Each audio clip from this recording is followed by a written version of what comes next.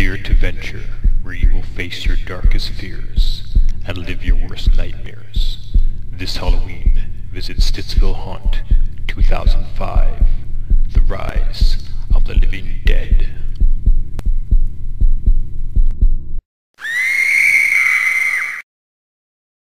you